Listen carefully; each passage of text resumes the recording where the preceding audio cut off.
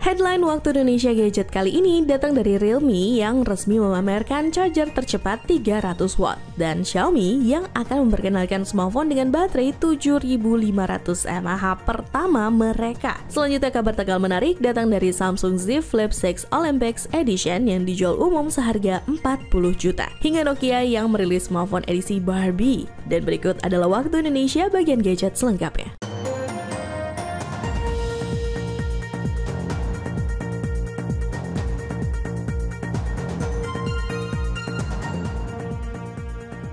Charger 300 watt jadi kenyataan. 17% cuma 35 detik. Realme resmi pamer kekuatan charger 300 watt terbaru Realme akan secara resmi memperkenalkan teknologi pengisian cepat 300 watt ini pada tanggal 14 Agustus mendatang. Terkait hal ini, sebuah video bocoran menampilkan teknologi tersebut yang menunjukkan kemampuan pengisian daya hingga 15% dalam waktu 32 detik dan 17% dalam waktu 35 detik saja. Realme memiliki peluang lebih besar untuk segera menerapkan teknologi ini mengingat perusahaan telah memiliki ponsel dengan pengisian cepat 240 watt. Bahkan ada rumor yang menyebutkan Realme mungkin akan melampaui angka 300 watt. Namun perlu dicatat bahwa acara pada 14 Agustus hanya akan menampilkan teknologi pengisian cepat tanpa peluncuran perangkat baru.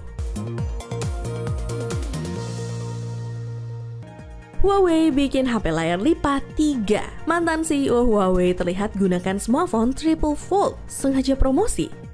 Hal ini terlihat dari foto mantan CEO Huawei Richard Yu yang terlihat menggunakan perangkat tersebut. Ponsel ini memiliki desain berbeda dengan ponsel lipat biasa, dengan dua engsel dan memiliki ukuran layar sekitar 10 inci. Dilansir dari beberapa sumber, dilaporkan bahwa perangkat ini akan menggunakan chipset Kirin 9 series dan dijadwalkan rilis sebelum seri Mate 70 nanti. Dan meskipun sempat dirumorkan akan meluncur sebelum akhir Juni, sayangnya hingga saat ini perangkat ini masih belum juga dirilis. Dengan desain yang unik dan potensial fitur canggih, ponsel dengan layar lipat tiga kali dari Huawei ini sangat dinantikan oleh para penggemar teknologi.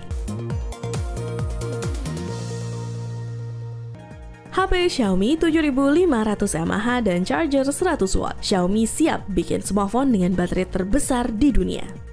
Setelah menjadi pionir dalam pengisian cepat 200 watt, Xiaomi kini bergeser fokus ke pengembangan baterai dengan kapasitas lebih besar. Xiaomi diketahui tengah mengembangkan teknologi untuk menghadirkan baterai 7000 mAh dengan pengisian 120 watt atau baterai 7500 mAh dengan pengisian 100 watt. Tren ini diikuti oleh beberapa produsen smartphone lainnya seperti Honor, Vivo, OnePlus, Oppo, dan Realme yang juga beralih ke material baterai dari sel silikon karbon untuk meningkatkan kapasitas kapasitas baterai tanpa mengorbankan kecepatan pengisian daya secara drastis. Dengan langkah ini, Xiaomi diharapkan akan menawarkan perangkat dengan daya tahan baterai yang lebih lama tanpa mengorbankan waktu pengisian yang terlalu lama.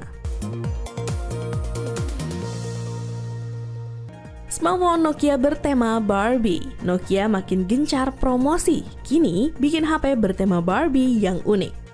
HMD dan Mattel akhirnya mengonfirmasi kehadiran HMD Barbie Phone yang akan diluncurkan akhir bulan ini. Ponsel lipat ini memiliki desain klasik dengan layar utama 2,8 inci dan layar penutup 1,77 inci. Spesifikasinya pun cenderung sederhana dengan chipset 1 GHz, RAM 64 MB, dan penyimpanan internal 128 MB yang masih dapat diperluas menggunakan memori eksternal. Dari segi konektivitas, ponsel ini mendukung 4G LTE dan Bluetooth. Baterainya berkapasitas 1450 mAh. Berdasarkan spesifikasi tersebut, HMD Barbie Phone kemungkinan besar merupakan versi rebranding dari Nokia 2660 Flip dengan desain dan tema Barbie.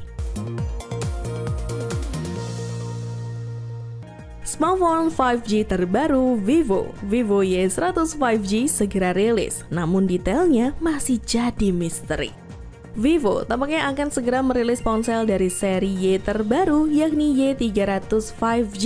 Model ini akan menjadi tambahan terbaru dalam lini Y yang terus berkembang. Meskipun informasi mengenai perangkat ini masih terbatas, namun keberadaan Y300 5G telah terdeteksi dalam database IMEI dengan nomor model V2416. Maka dapat dipastikan bahwa akan ada lebih banyak bocoran dan rumor mengenai spesifikasi serta fitur ponsel ini dalam waktu dekat. FYI, Vivo Oppo dikenal sering merilis perangkat dengan nama yang serupa namun dengan spesifikasi berbeda di pasar yang berbeda. Oleh karena itu, belum diketahui secara pasti pasar mana yang akan menjadi target peluncuran Y300 5G ini. Oppo rilis dua HP seri terbaru, Oppo Reno 12F 5G dan Reno 12F 4G rilis. Selisih harganya sampai 1 juta. Keduanya hadir dengan desain yang unik, yaitu modul kamera berbentuk lingkaran yang diberi nama Cosmo Ring dan dilengkapi dengan lampu LED Halo Light. Desain ini memberikan tampilan yang premium dan memungkinkan pengguna mengetahui status ponsel tanpa perlu menyalakan layar. Perbedaan utama antara kedua model terletak pada konektivitas, chipset, dan pilihan warna. Reno 12F 4G menawarkan lebih banyak pilihan warna, sementara Reno 12F 5G memiliki kapasitas penyimpanan yang lebih besar. Salah satu fitur fitur menarik dari seri Reno 12F adalah integrasi generative AI yang dapat membantu pengguna dalam berbagai hal, seperti pengeditan foto dan peringkasan artikel. Terkait harganya, Oppo Reno 12F 4G dibanderol dengan harga 4.299.000, sedangkan Oppo Reno 12F 5G tersedia dalam dua varian, yaitu 8 per 256 GB dengan harga 5.299.000 dan 12 per 512 GB dengan harga 6.199.000 rupiah.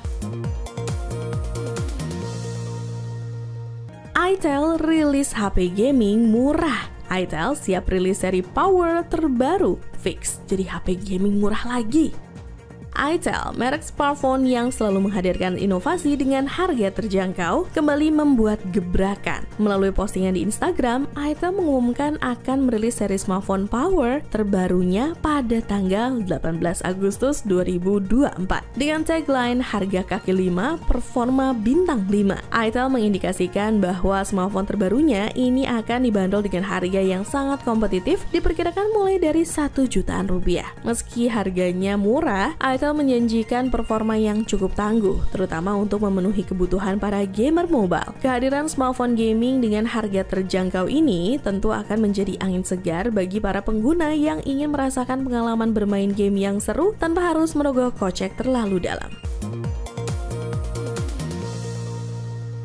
Asus rilis promo spesial kemerdekaan. Promo spesial Asus ROG Phone 8 dan Zenfone 11 Ultra. Ada hadiah menarik dalam rangka merayakan kemeriahan Hari Kemerdekaan Indonesia yang ke-79, Asus Indonesia kali ini mengumumkan promosi spesial untuk dua smartphone terbarunya, yaitu Asus ROG Phone 8 dan Zenfone 11 Ultra. Promo akan berlangsung mulai 12 Agustus hingga 30 September 2024 yang akan memberikan kesempatan kepada pelanggan untuk mendapatkan hadiah menarik dengan pembelian kedua perangkat premium tersebut. Di setiap pembelian ROG Phone 8 varian 12 per 256 GB seharga 10 juta 999.000, pembeli akan mendapatkan free Bluetooth speaker. Sementara untuk Zenfone 11 Ultra mengalami penurunan harga 1 juta rupiah untuk masing-masing varian. Dan di setiap pembeliannya, pelanggan akan mendapatkan free wireless car charger yang syarat dan ketentuan berlaku. Samsung Z Flip 6 harga 40 juta Samsung Galaxy Z Flip 6 Olympics Edition dijual 40 juta rupiah. Tertarik beli? Samsung Galaxy Z Flip 6 edisi Olimpiade yang awalnya dirancang khusus dan hanya diberikan gratis kepada para atlet Olimpiade Paris 2024 kini telah beredar di pasaran. Beberapa unit telah terdaftar di platform jual beli online eBay dengan harga yang jauh di atas harga resmi edisi standar. Beberapa penjual menawarkan ponsel lipat eksklusif ini dengan harga sekitar 36,5 juta hingga 40 juta rupiah. Harga ini jauh lebih mahal dibandingkan dengan harga resmi Galaxy Z Flip 6 edisi biasa biasa yang berkisar antara 17,4 juta hingga 19,4 juta rupiah aja. Meskipun harganya selangit, para penjual juga menyertakan sejumlah bonus yang biasanya diberikan bersama dengan perangkat edisi khusus ini. Apakah kamu tertarik? Sebelum kita masuk ke berita terakhir, buat kalian yang ketinggalan terkait berita terupdate seputar gadget di minggu-minggu yang lalu, ada baiknya kalian langsung masuk aja ke channel YouTube Pricebook dan playlist Waktu Indonesia bagian gadget. Dan buat kamu yang gak mau ketinggalan berita terupdate terkait perkembangan dunia telco, bisnis, fintech, hingga IoT di Indonesia, kalian bisa kunjungi platform baru kita di Prime by Pricebook, yang linknya bakal dia taruh di kolom deskripsi di bawah. HP flip termurah siap rilis. Tecno Phantom V Flip 2 dikabarkan segera rilis resmi di Indonesia.